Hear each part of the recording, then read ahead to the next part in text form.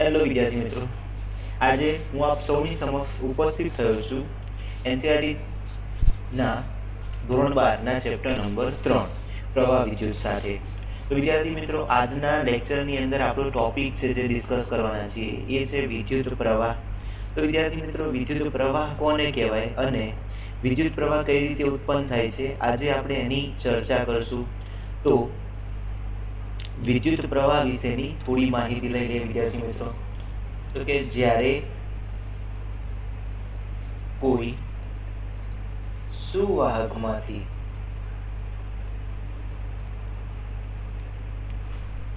વિદ્યુત ભાર વહન પામે, તો આ વિદ્યુત ભારોની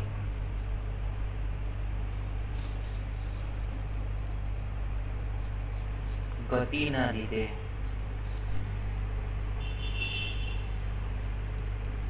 વિદ્યુત પ્રવાહનું નિર્માણ થાય છે.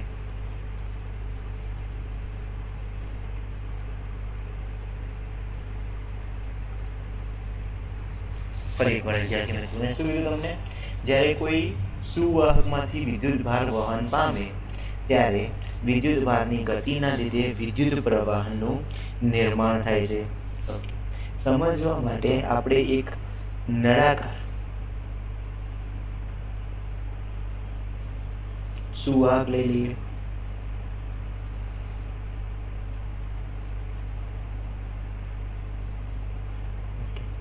તો આ નળાકાર સુવાહકના લીધે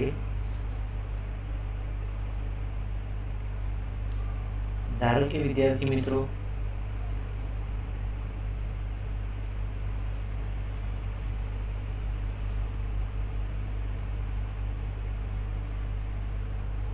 પ્લસ ક્યુ વિદ્યુત ભાર છે. એ આગળની દિશામાં વહન પામે. જ્યારે માઇનસ ક્યુ વિદ્યુત ભાર છે, એ પાછળની દિશામાં વહન પામે. અહીંયા આગળ મેં ધન વિદ્યુત ભારને લાલ વડે અને ઋણ વિદ્યુત ભારને મેં કાળા વડે દર્શાવ્યું છે.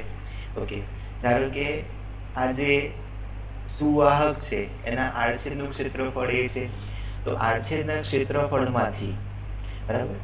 ટી સમયમાં, ધારો કે ક્યુ પ્લસ એટલે કે ધન વિદ્યુત ભાર આગળની દિશામાં વહન પામે છે, અને ક્યુ માઇનસ એટલે કે ઋણ વિદ્યુત ભાર પાછળની દિશામાં વહન પામે છે. તો ટી સમયગાળામાં આડછેદના ક્ષેત્રફળમાંથી પસાર થતો કુલ વિદ્યુત ભાર ક્યુ નેટ એ તમને બંનેની બાદ બાકી દ્વારા મળી શકાય. ફરી એકવાર સમજો ધારો કે એક નળાકારના આડછેદ કે જેનું ક્ષેત્રફળ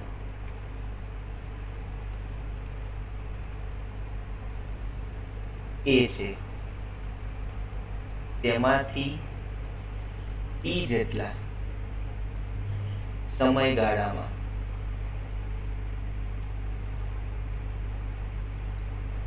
ધન વિદ્યુત ભાર પ્લસ ક્યુ એ આગળની દિશામાં.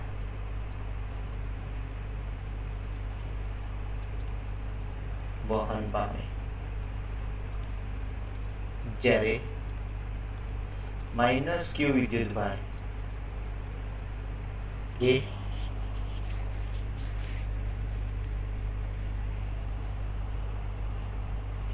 પાછળની દિશામાં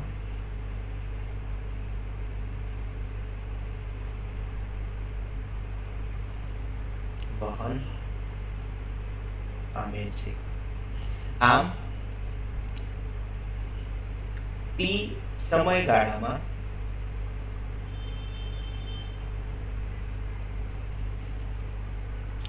આડછેદમાંથી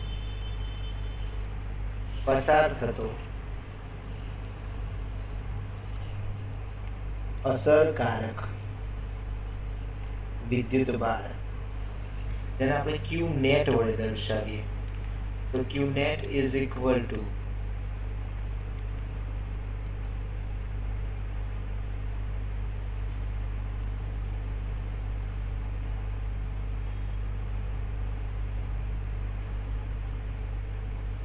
Q plus Q minus તમને એવું થાય સર અહીંયા આગળ બાદબાકી આપણે કેમ કરી? તો વિદ્યાર્થી મિત્રો, બાદબાકી કરવાનું કારણ એવું હતું કે એકની દિશાને આપણે ધન એક્સ તરીકે લઈએ, તો બીજાની દિશાને આપણે ઋણ એક્સ તરીકે લેવી પડે. અને બંનેની દિશા જો વિરુદ્ધ હોય, તો વિરુદ્ધ દિશા માટે આપણે ઋણ નિશાની કરવી પડે. એટલે આપણી પાસે ક્યુ નેટ બરાબર Q plus minus Q minus તરીકે મળ્યો. હવે જો સ્થાયી પ્રવાહ હોય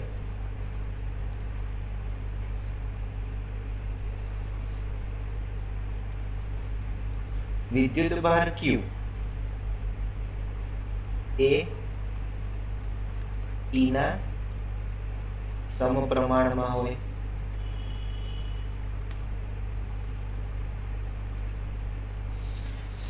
સ્થાયી પ્રવાહનો મતલબ થાય કે ચોક્કસ સમયગાળામાં આડછેદમાંથી પસાર થતા વિદ્યુત ભારનો જથ્થો અચળ હોવો એટલે કે ધારો કે દરેક સેકન્ડે આડછેદના ક્ષેત્રફળમાંથી ક્યુ જેટલો વિદ્યુત ભારનું વહન પામે છે, તો એ કિસ્સામાં પ્રવાહ આઈ નું મૂલ્ય હંમેશા અચળ મળશે. બરાબર છે? તો એના ઉપરથી આપણે વિદ્યુત પ્રવાહ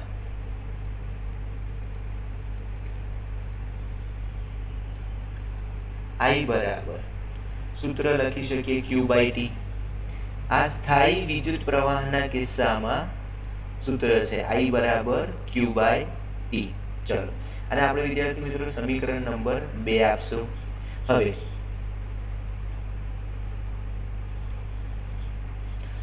એવું તો શક્ય જ નથી કે પ્રવાહ હર વખતે સ્થાયી હોય.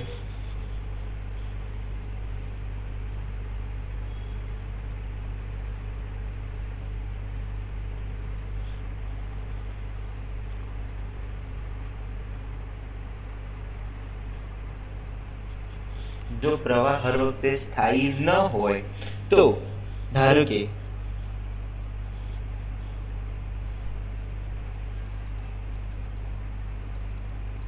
એ જેટલા આડછેદના ક્ષેત્રફળમાંથી ડેલ્ટા ટી જેટલા સમયગાળામાં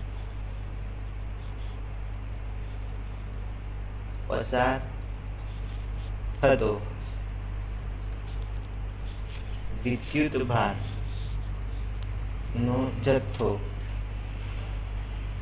ડેલ્ટા ક્યુ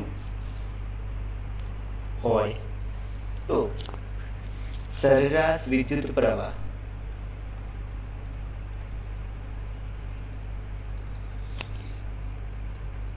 સરેરાશ વિદ્યુત પ્રવાહ આઈ બરાબર delta Q by delta T ની મદદથી આપી શકાય.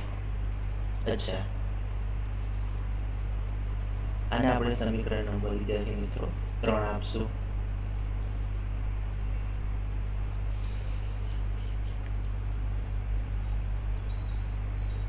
જો, સમીકરણ નંબર ત્રણમાં limit delta T tends to zero લેવામાં આવે. તો આપણને વિદ્યાર્થી મિત્રો તાત્ક્ષણિક પ્રવાહ મળશે. માટે તાત્ક્ષણિક પ્રવાહ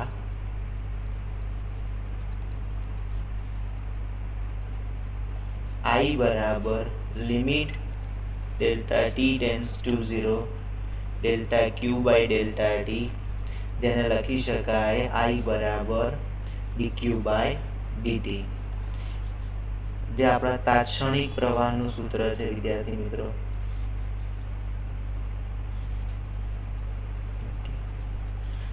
હવે આપણે પ્રવાહના એકમની વાત કરીએ તો પ્રવાહનો એસઆઈ એકમ. કુલંબ પ્રતિ સેકન્ડ અથવા એમ્પિયર છે. એકમ થાય વિદ્યાર્થી મિત્રો કુલંબ પ્રતિ સેકન્ડ અથવા એમ્પિયર. અચ્છા, જો આખું એમ્પિયર લખવું હોય, તો કેપિટલ એની જગ્યાએ મારે સ્મોલ એ લખવું પડે. આ વિદ્યાર્થી મિત્રો નિયમ છે, બરાબર? જ્યારે કોઈ પણ એકમને આખે આખો લખવું હોય, તો એમાં પહેલો જે અક્ષર છે એ કેપિટલ ના હોય, એ સ્મોલ હોય. માટે આને લખાય એમ્પિયર. ઓકે, ચાલો. તેનું પારિમાણિક સૂત્ર?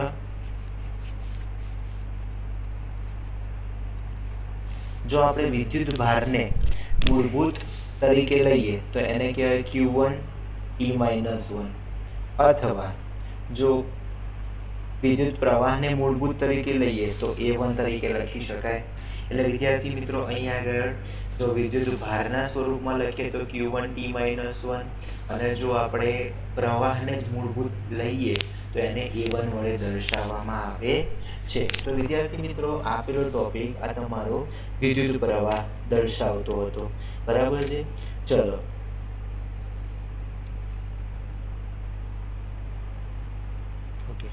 અહીંયા આગળ જે વિદ્યુત પ્રવાહ હોય છે, એનું મૂલ્ય મિલી એમ્પિયર માઇક્રો એમ્પિયરના ક્રમનું હોય છે.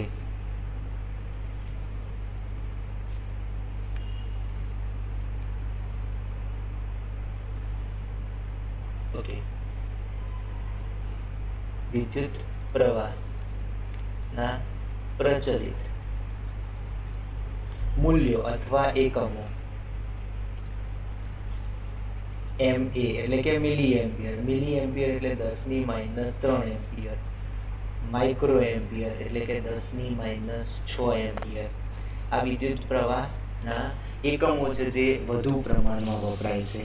તો વિદ્યાર્થી મિત્રો, આ તમારું વિદ્યુત પ્રવાહની ચર્ચા આપણે કરી. હવે આપણે જે ટોપિકની ચર્ચા કરવાના છે વિદ્યાર્થી મિત્રો, એ ટોપિક છે ઓમનો નિયમ. હવે પછીનો આપણો જે ટોપિક છે, વિદ્યાર્થી મિત્રો, એ છે ઓમનો નિયમ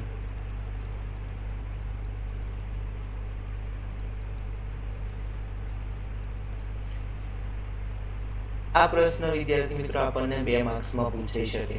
બરાબર? તો ઓમનો નિયમ શું કહે છે? એની વ્યાખ્યાથી આપણે શરૂઆત કરીએ.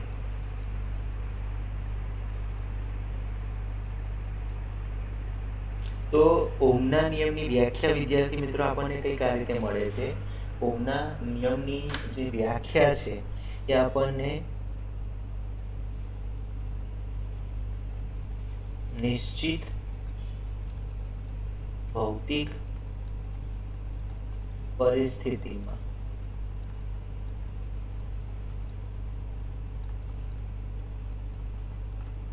રાખેલા. કોઈ વાહક પદાર્થમાંથી.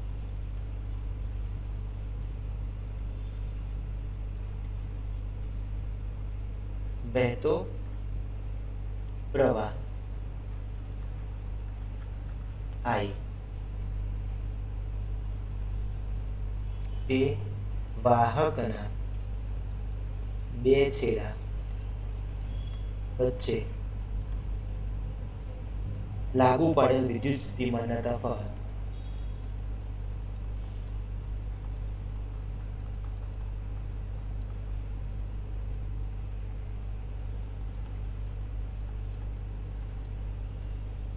બીના સમપ્રમાણમાં હોય છે.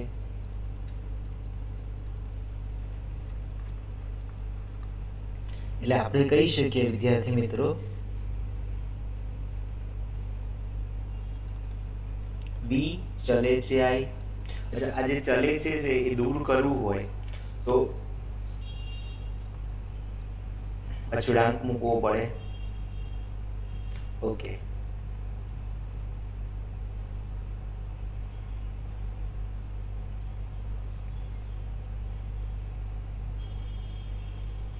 બી બરાબર આઈએલ જ્યાં આર બરાબર સપ્રમાણતા અચળાંક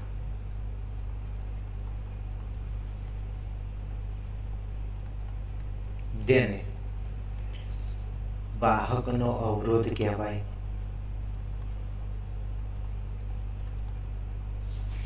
જેને વિદ્યાર્થી મિત્રો, વાહકનો અવરોધ કહેવામાં આવે છે. ઓકે અવરોધ. નો એસઆઈ એકમ.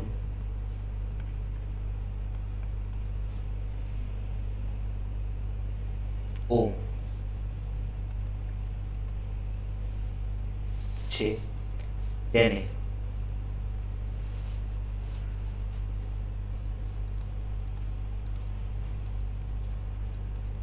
ઓમ સંજ્ઞા દ્વારા દર્શાવવામાં આવે છે. ઓકે આવું ના લખવું હોય તો આપણે સીધે સીધું બી લખી શકીએ.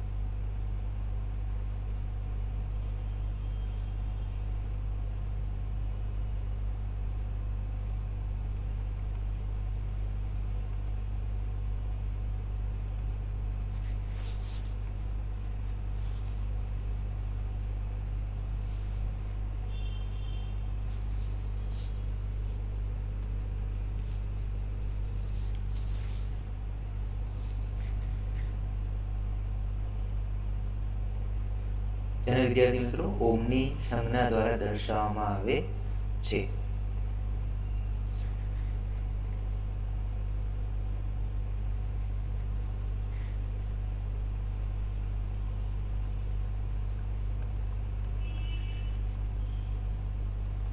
ઓકે. આ તેની સંજ્ઞા થઈ ગઈ. ચલો, હવે આપણે આમાં આગળ વાત કરીએ. વિદ્યાર્થી મિત્રો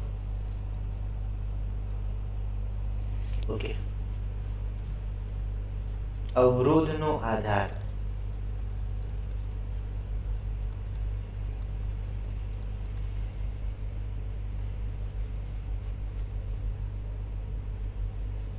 પરિમાણ તાપમાન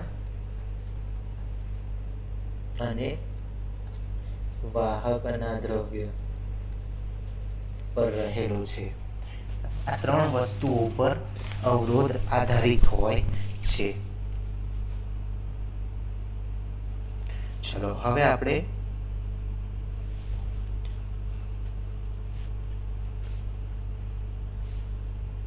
એવું સમજી લઈએ કે સમજો વિદ્યાર્થી મિત્રો, આપણી પાસે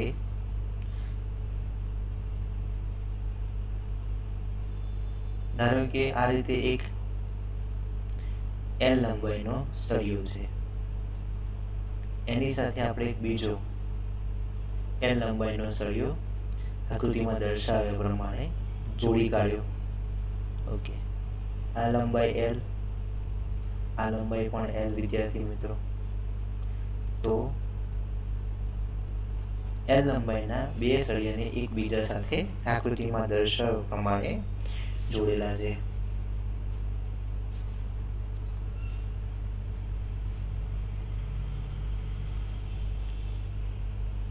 આકૃતિમાં દર્શાવ્યા પ્રમાણે.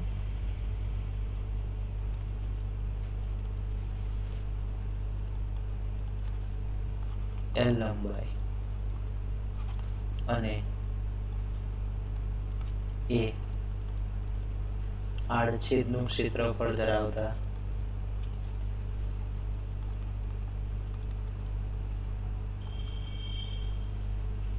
બે સળિયાને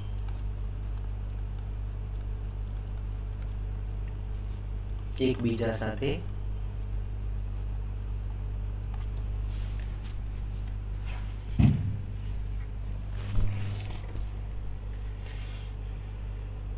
એવી રીતે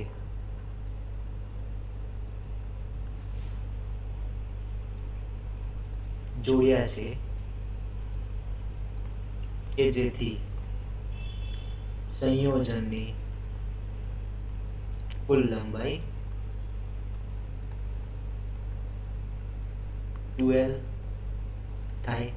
એટલે કે એમનું શ્રેણી જોડાણ કરેલું છે. સાદી ભાષામાં વાત કરીએ તો એમનું શ્રેણી જોડાણ કરેલું છે.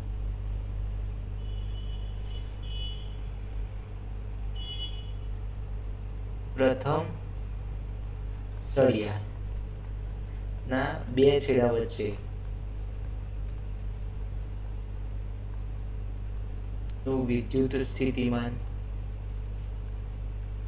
વી બીજા સળિયાના બે છેડા વચ્ચેનું વિદ્યુત સ્થિતિમાન પણ વી માટે અસરકારક વિદ્યુત સ્થિતિમાન.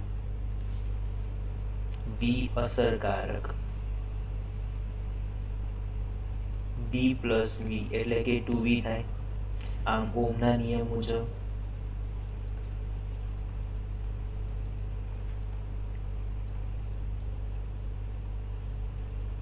અચ્છા વળી પાછું બંને સળિયામાંથી પસાર થતો પ્રવાહ તો આવી જ છે.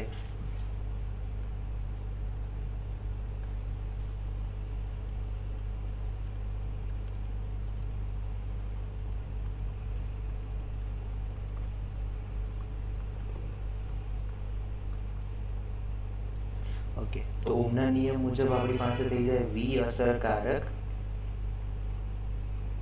બરાબર આઈ આર એના ઉપરથી જો હું આર ને કરતા બનાવું, તો વી અસરકારક છે ટુ વી છેદમાં આઈ અને સમીકરણ નંબર બે આપી દો એ જ રીતે, ધારો કે મારી પાસે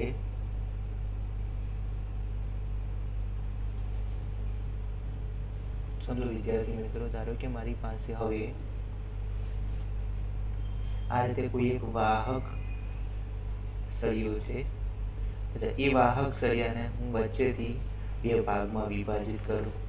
તો જ્યારે સળિયાને વચ્ચેથી બે ભાગમાં વિભાજિત કરવામાં આવે, તો બંનેમાંથી પસાર થતું જે વિદ્યુત પ્રવાહ છે, એનું મૂલ્ય અડધું થઈ જશે.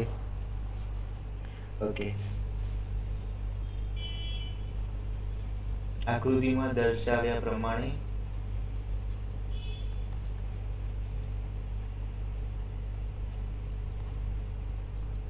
એલ લંબાઈ. અને એ આડછેદનું ક્ષેત્રફળ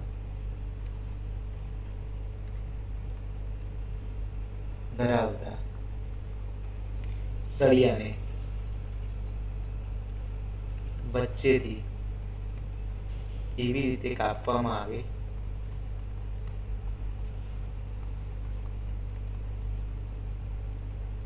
જેથી આડછેદનું ક્ષેત્રફળ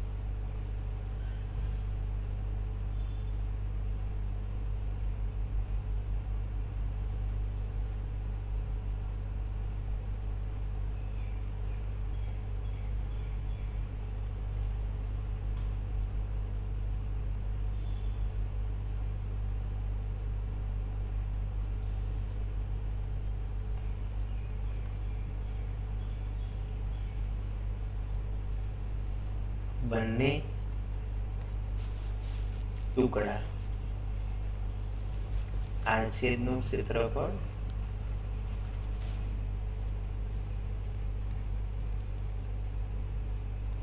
એ બાય ટુ થાય. અને લંબાઈ એલ રહે. હવે આ કિસ્સામાં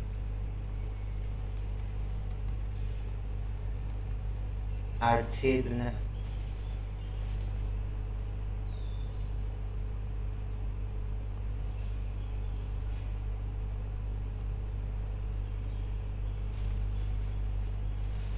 બંને ટુકડામાંથી પસાર થતો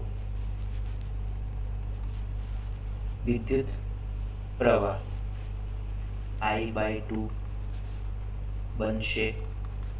ઓકે. જો આઈ બાય ટુ બને તો ઓમના નિયમ મુજબ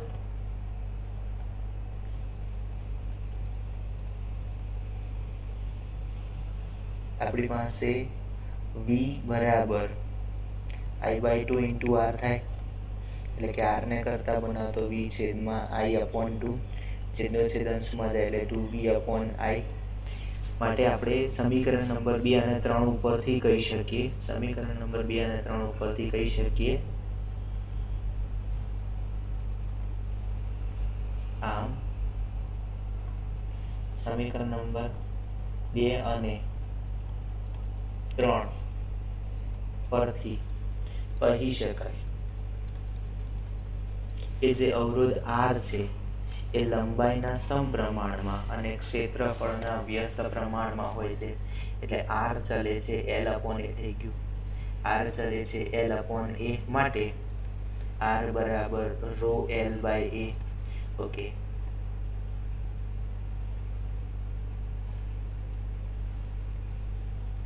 Then આપણે સમીકરણ નંબર ચાર આપી દઈએ વિદ્યાર્થી મિત્રો. તો અહીંયા જે રો છે, બરાબર?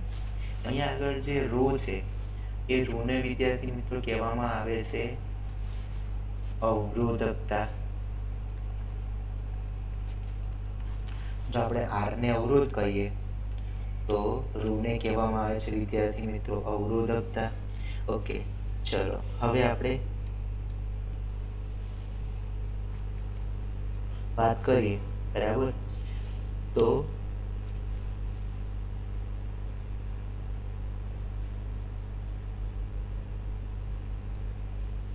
અવરોધ. આર જે છે, એનું પારિમાણિક સૂત્ર. અવરોધ આરનું પારિમાણિક સૂત્ર M one, L two, E minus three, A minus two ની મદદથી આપી શકાય. અને અવરોધકતા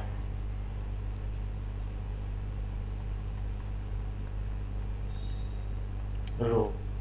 તો એનું તો સૌથી પહેલા આપણે એકમ લખવો પડશે. એનો એસઆઈ એકમ થઈ જાય ઓમ મીટર. બરાબર છે વિદ્યાર્થી મિત્રો? એસઆઈ એકમ થઈ જશે એનો ઓમ ઇન્ટુ મીટર. રસ ના ખબર પડે તો જો વિદ્યાર્થી મિત્રો આપણે રોને કરતા બનાવીએ. તો રોને કરતા બનાવીએ એટલે આર ઇન્ટુ એ છેદમાં એલ થઈ જાય. અચ્છા એ ક્ષેત્રફળ મીટર સ્ક્વેર અને એલ લંબાઈ મીટર. તો આપણે જો રોને કરતા બનાવીએ તો આર એ છેદમાં એલ એટલે કે ઓમ મીટર સ્ક્વેર છેદમાં મીટર મીટર મીટર ઉડી જાય એટલે ઓમ ઇન્ટુ મીટર એનું એકમ થઈ ગયું. અચ્છા, તો એના ઉપરથી જો આપણે એનું પારિમાણિક સૂત્ર બનાવવું હોય, તો એનું પારિમાણિક સૂત્ર, બરાબર? M one L three E minus three A minus two કેમ કે ઓમ, એટલે કે આપણે આરનું તો મૂકવાનું ઇન્ટુ મીટર એટલે કે એલ વન મૂકવાનું તો M one L three T minus three A minus two આપણું એસઆઈ એકમ થશે. ચલો, ત્યારથી આપણે આગળ વાત કરીએ વિદ્યાર્થી મિત્રો. તો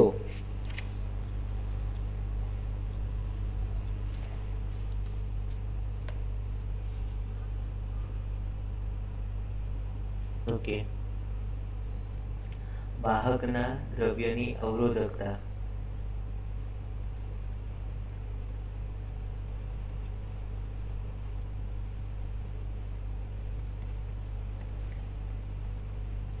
નો આધાર. વાહકના દ્રવ્યની જાત.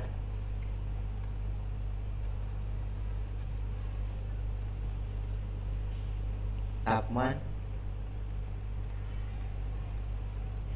અને વાહકના દબાણ પર રહેલો છે.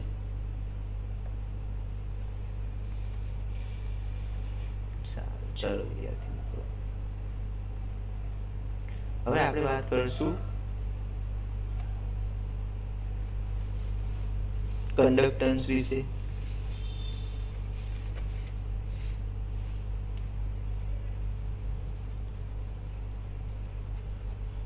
કંડક્ટન્સ ને વિદ્યાર્થી મિત્રો જી વડે દર્શાવાય.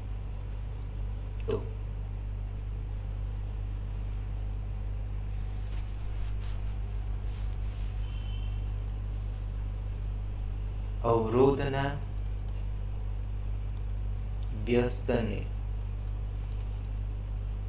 વાહકનું કન્ડક્ટન્સ કહેવાય. માટે જી બરાબર વન અપોન આર સમીકરણ થાય. એનો એસઆઈ એકમ. જો આપણે કન્ડક્ટન્સનો એસઆઈ એકમ લઈએ તો ઓમ ઇનવર્સ બરાબર? અથવા તો મો.